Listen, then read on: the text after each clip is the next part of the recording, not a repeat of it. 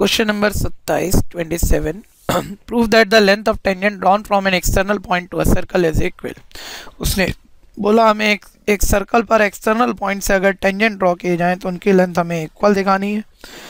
हम यहाँ पर एक सर्कल ड्रॉ कर लेते हैं। इस पर एक एक्सटर्नल पॉइंट हम पी से एक टेंजेंट PT ड्रॉ कर लेते हैं।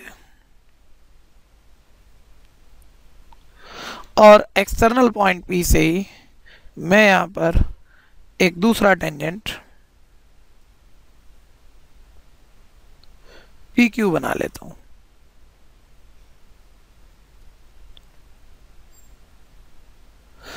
ध्यान देना, उसने बोला, एक एक्सटर्नल पॉइंट से अगर सर्कल पे दो टेंजेंट पी टी और पी क्यू बनाए जाएँ तो इनकी लेंथ इक्वल होती है। हमें ये प्रूफ करना है। ध्यान देना सर्कल के सेंटर को हम यहाँ पर ओ अज्यूम कर लेते हैं। तो गिवन है मेरे पास यहाँ पर।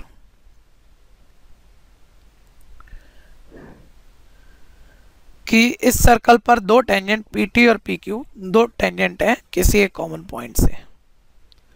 टी एंड क्यू मेरे पास यहाँ पर टेंजेंट्स हैं।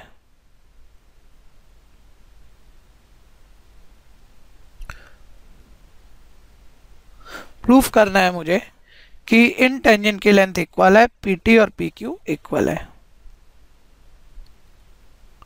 तो किस तरह से प्रूव हो पाएगा?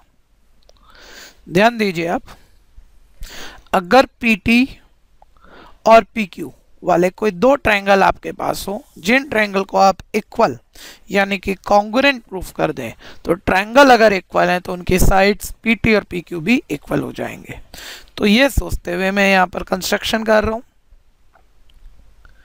मैं यहाँ पर पीटी से फॉर्म होने वाला ट्रैंगल बनाने के लिए ओ को टी से और P को O से ज्वाइन कर देता हूँ। तो यहाँ PT वाला एक ट्रायंगल बनता है PTO ऐसे पी क्यू से यहाँ एक ट्रायंगल फॉर्म करने के लिए मैं यहाँ ओ से क्यू को मिला देता हूँ।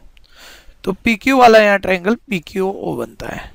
अब अगर हम पी टी ओ ट्रैंगल और पी क्यू ओ ट्रैंगल को कॉन्ग्रेंट यानी इक्वल प्रूफ कर दें तो इक्वल ट्रैंगल में साइड्स कॉरस्पॉन्डिंग साइड्स इक्वल होंगे तो पी टी और पी क्यू मेरे पास इक्वल आ जाएगा। तो ये सोचते हुए मैं पी टी और पी क्यू वाले ट्रैंगल को कॉन्ग्रेंट प्रूफ कर रहा हूँ। तो मैं यहाँ वर्क कर रहा हूँ। इन triangle P T O and triangle P Q O इन दोनों ट्रायंगल में ध्यान दीजिएगा।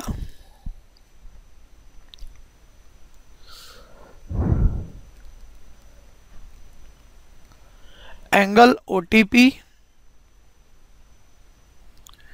इक्वल है एंगल ओ क्यू पी क्योंकि ये दोनों एंगल 90 डिग्री हैं। ध्यान दीजिए ओ टी रेडियस है पी टी टेंजेंट है। आप जानते हैं रेडियस टेंजेंट के ऊपर 90 डिग्री का एंगल फॉर्म करता है। इसी तरह से दूसरा ट्रायंगल ओ क्यू पी में O Q radius P Q tangent है और रेडियस टेंजेंट के ऊपर 90 डिग्री का एंगल फॉर्म करता है, यानी यहाँ angle O Q P ninety degree है। तो मैं कह सकता हूँ, पहला ट्रायंगल ओटीपी में एंगल ओटीपी और ट्रायंगल ओक्यूपी में एंगल ओक्यूपी दोनों इक्वल हैं, क्योंकि दोनों 90 डिग्री हैं। Reason because radius is perpendicular on tangent फिर ध्यान दीजिएगा, दोनों ट्रायंगल इक्वल प्रूफ कर रहे हैं तो उनके कोई तीन कॉरस्पॉन्डिंग पार्ट इक्वल करने होंगे, जिसमें एक हम एंगल इक्वल कर चुके हैं, दूसरा दोनों ट्रायंगल में ध्यान दीजिए ओपी साइड ऊपर वाले या नीचे वाले ट्रायंगल में इक्वल है, क्योंकि ओपी साइड दोनों ट्रायंगल में कॉमन साइड है।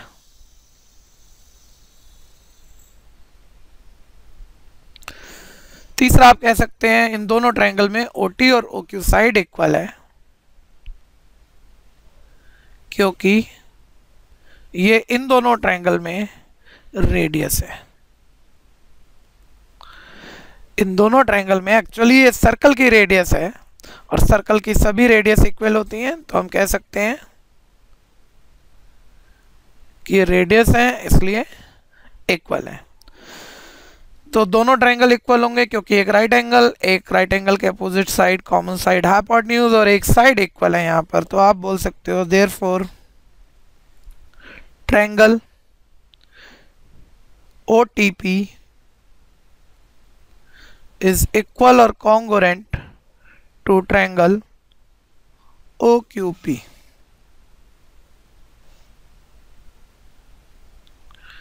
by RHS congruency से दोनों ट्रायंगल मेरे इक्वल या कॉन्ग्रेंट हो गए हैं। और हम जानते हैं कि जब दो ट्रायंगल इक्वल हो तो उनके कॉरस्पॉन्डिंग पार्ट इक्वल होते हैं। यानी इन दोनों ट्रायंगल में पीटी और पीक्यू जो कि ट्रायंगल की कॉरस्पॉन्डिंग साइड्स हैं, वो इक्वल होंगी। यानी आप कह सकते हो यहाँ पीटी और पी क्यू इक्वल होगा by C P C T corresponding part of congruent triangle are equal. Hence proved.